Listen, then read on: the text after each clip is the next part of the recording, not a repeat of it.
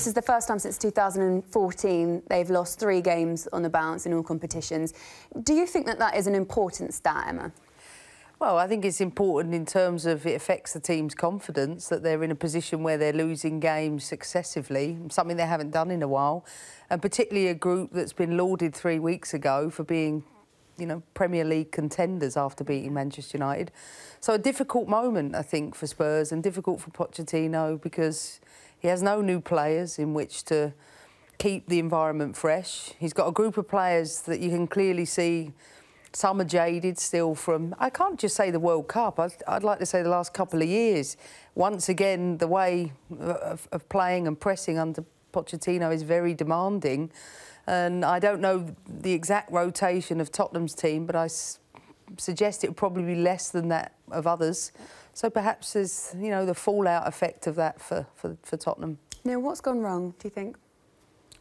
Again, it's very difficult to put a, a finger on it, but to go from beating Manchester United 3-0 at Old Trafford to then losing the next game to a very highly motivated and you know Watford team who got off to a great start. But if you are to be contenders in, really you have to try and get something from those games. And I think that's a question mark that's been pointed at Spurs over the last couple of years. All of a sudden, they seem to be going seamlessly, going well, and then out of the out of anywhere or nowhere comes a result that sort of tips them off balance. I always think it's important to add players to your squad. I think that may come back to hurt Spurs over the course of the season.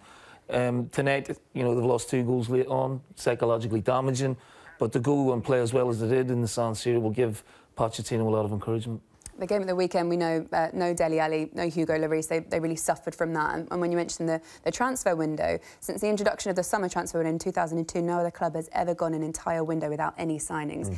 Mm. We spoke about that a lot over the summer and, and we discussed it in great detail. But is it when you lose big key players like this, and also tonight, no Alderweireld, no Trippier, yeah. that you start to notice that you, your, your depth is so weak?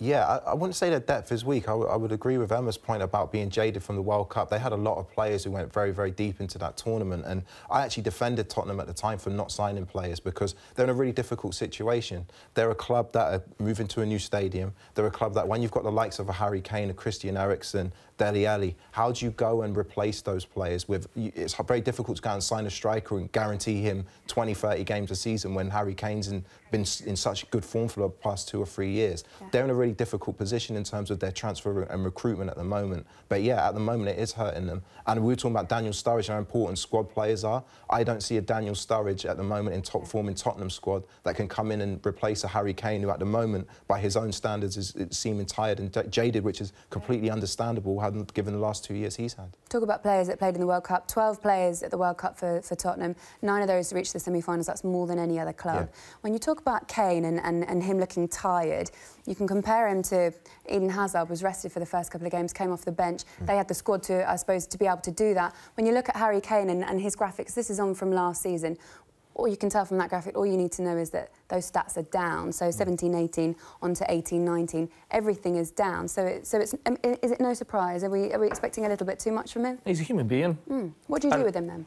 Uh, well, try and give him a break as the season progresses. Obviously, he's so important to Spurs, but I think there must be avenues throughout the season where they can give him, you know, maybe four or five days off or a week. That's that's what I would look to do as a manager.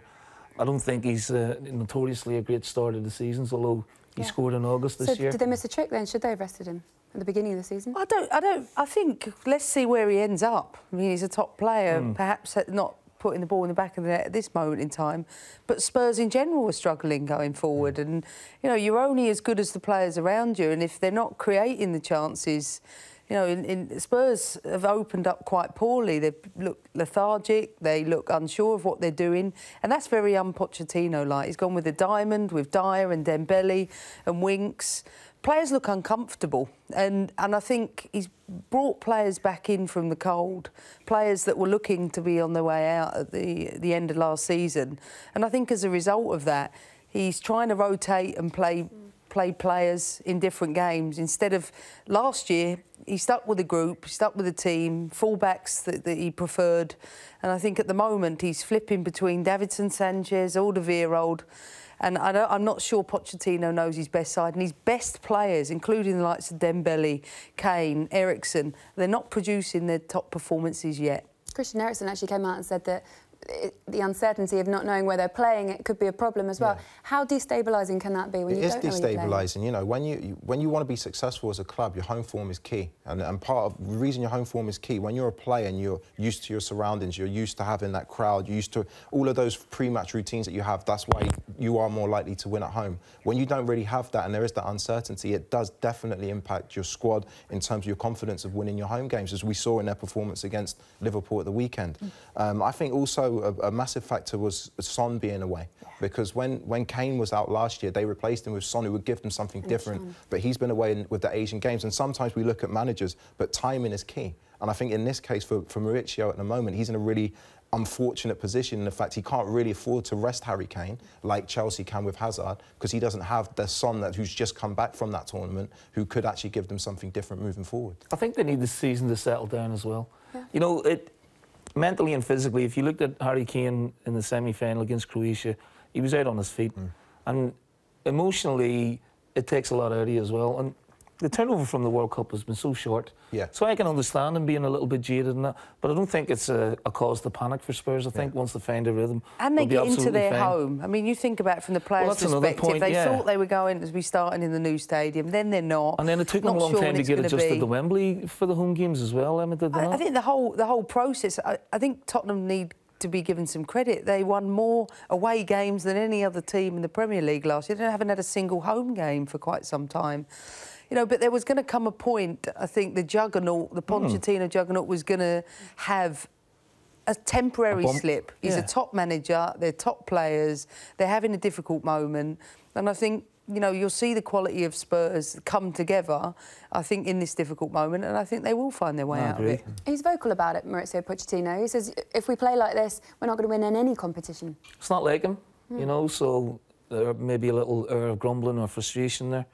You know, normally he always is quite smooth and serene almost in front of the cameras. I'm a big fan, you know, the way, obviously the way he sets his team out, but the way he handles the media as well. So just a little bit of a crack there that I've not seen before. Well, you think about it, look, the majority of Tottenham squad haven't even had a pre-season. They've no. come, they've had a break, they've come in. It's a, it's a high-pressing game, it's a high-energy game. You can see just when you watch Tottenham play, they just aren't covering the ground in the way that they did with the, the same amount of freshness. And I agree with Neil. I think it's about having to stage that over the course of the season so that when players can take the right recovery, they need a few days, go and get a bit of sun somewhere and, and get off their legs. Yeah, yeah. Nice. Honestly, it's they didn't get long enough, and then people are expecting them to go into high pressure games and be the exact same as they were three, four months ago. It, you just can't. Yeah, exactly. You just can't do it. So stadium and, and rest aside, mm. in the next transfer window, should Pochettino be afforded more backing to go out and, yeah, and buy some more players? You'd hope so. In, um, I, see. I thought Lucas Moura, that business last January was fantastic. He's now he's taken his time to acclimatise to the league. And the thing that we talk about with transfer windows and signing players, we think signing players is always the answer. You sign a player and it just automatically makes your team better. That, that's just not the case. It takes, especially if you sign a player from abroad, takes some time to acclimatise to a league where the tempo in England is completely different to on the continent. So yeah, they may look in January to strengthen. What's more important now is the here and now, dealing with this with this situation they're in now until January, making sure they get back on track, making sure they go back to play. When you change systems like they did, I was really surprised that he went away from his from his tried and tested system against Liverpool. I thought that was a key indicator before the game that he was worried about that game and felt he needed to do something that he hadn't done before in order to win the game. That's more of a worry for me at the moment. I think you'll find, and even in this game against Inter, they went back to their 4-2-3-1 with two wide players. I think mm. in time, when he gets the right amount of, of, of, time to work on his system, they go back to their way of playing, they'll be absolutely mm. fine. And the January window is where Spurs do their business. Now, there are two windows. They don't tend to do it in August. They Moura's, Dele Alli's, players come in January for Spurs because they like to get top class players cheaper than everybody else.